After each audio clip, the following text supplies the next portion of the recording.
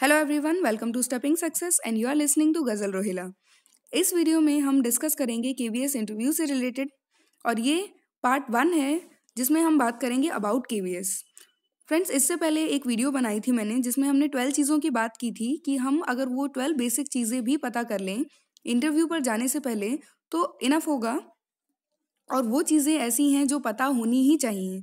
तो उसका लिंक आपको डिस्क्रिप्शन बॉक्स में मिल जाएगा। तो आइए स्टार्ट करते हैं।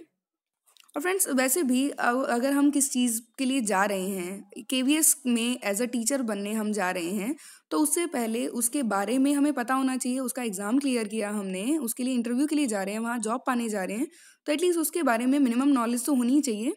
तो इसीलिए मेरा फ़र्स्ट पॉइंट यही था कि अबाउट के हमें पता होना चाहिए। तो उसी की ये वीडियो है। सो लेट स्टार्ट के जो कि फुल फॉर्म है, केंद्रीय विद्यालय संगठन। फ़र्स्ट पॉइंट है कि Kendriya Vidyalaya was found as a system in 1963 under the name central school later is was it was changed into KVS तो पहले इसका नाम केंद्रीय सेंट्रल स्कूल था, बाद में चेंज करके केवीएस हो गया था। और केवीएस जो स्टार्ट हुआ था, वो हुआ था 1963 में। 1963 में केवीएस जो है वो स्टार्ट हुए थे। अब है प्रिंसिपल ऑब्जेक्टिव ये स्कूल क्यों खोले गए? केवीएस जो स्कूल से उनको खोलने का क्या रीज़न था, क्या पर्पज़ था कि ये स्कूल खोले गए? तो सबसे पहले तो to cater to the educational need of children of arm forces personnel arm forces से यहाँ मतलब है आर्मी के बच्चों से. आर्मी में जो इंडियन आर्मी में जो काम करते हैं लोग, वहाँ पर तो उनके बच्चों, जो आर्मी के पर्सन हैं, उनका हर थ्री ईयर्स के बाद ट्रांसफ़र होता है. तो उन बच्चों की एजुकेशनल नीड्स को देखते हुए, ये जो है कीवीज़ खोले गए, ताकि उन बच्चों की स्टडीज़ को हार्म ना हो, वो जब एक स्टेट से दूसरी जगह ट्रांसफ़र हों तो उनको, कोई उनकी स्टडी को हार्म ना हो। तो इसीलिए वो स्कूल्स खोले गए। सेकेंड है to develop a spirit of national integration and create a sense of Indianness among children तो वही बात है, जब पूरे स्टेट्स में अलग अलग स्टेट्स में बच्चे जाएँगे तो अलग अलग स्टेट्स के कल्चर को अलग अलग स्टेट्स की लैंग्वेज को वो सीखेंगे तो उनके अंदर एक सेंस ऑफ़ इंडियननेस आएगी। ठीक है, भारतीयता की भावना आएगी कि वो इतने सारे स्टेट्स की कल्चर को लैंग्वेज को, सब चीज़ों को सीखेंगे तो नेशनल इंटीग्रेशन और इंडियननेस की भावना उनके अंदर आएगी। तो ये दो पर्पज थे केवीज को खोलने के।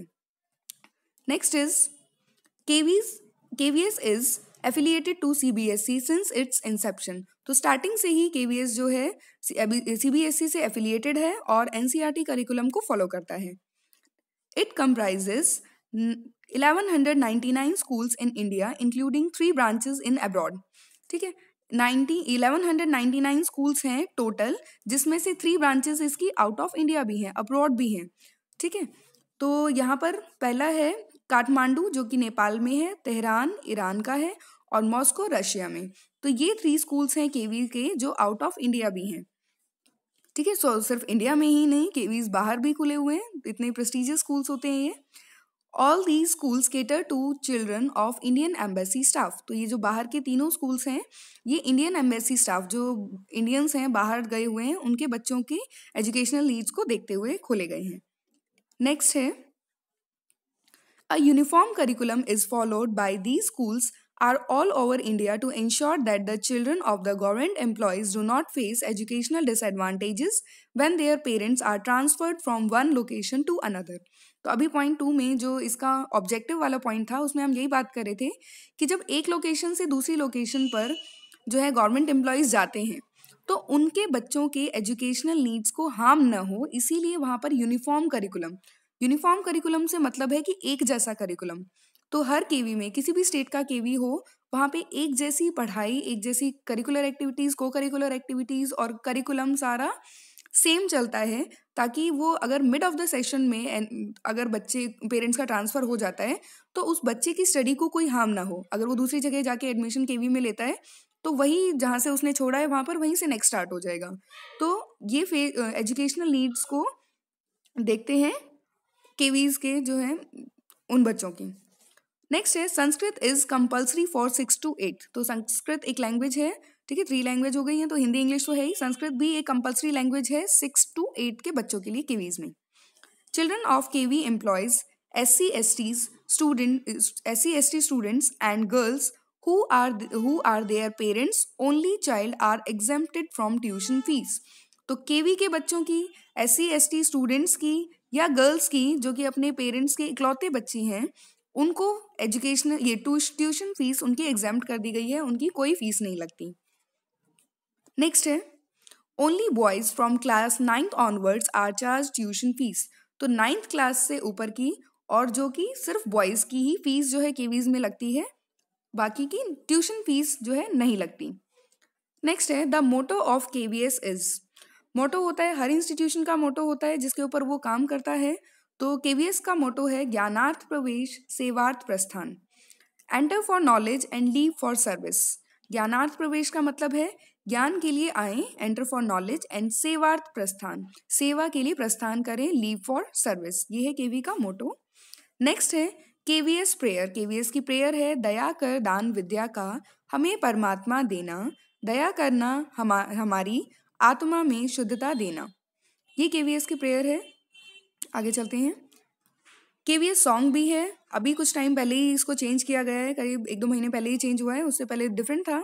अब न्यू केवीएस का सॉन्ग आया है, ये है, मेरा केंद्रीय विद्यालय, तुम्हारा केंद्रीय विद्यालय, मानवता निर्माण करे हमारा केंद्रीय विद्यालय तो केवी ने अपना सॉन्ग भी बनाया हुआ है सो so नाइस nice. तो ये अच्छा सा है, काफ़ी अच्छा सॉन्ग है, आप ज़रूर इसको देखिएगा, मैं लिंक डिस्क्रिप्शन बॉक्स में डाल दूँगी, काफ़ी अच्छा सॉन्ग है तो इसको सुनिएगा ज़रूर शाला दर्पण तो ये एक ई गवर्नेंस प्लेटफॉर्म है मतलब ये केवीज ने पूरी कंट्री में जो है केवीज ने ये शाला दर्पण प्रोग्राम जो है ओपन किया इनिशिएट किया।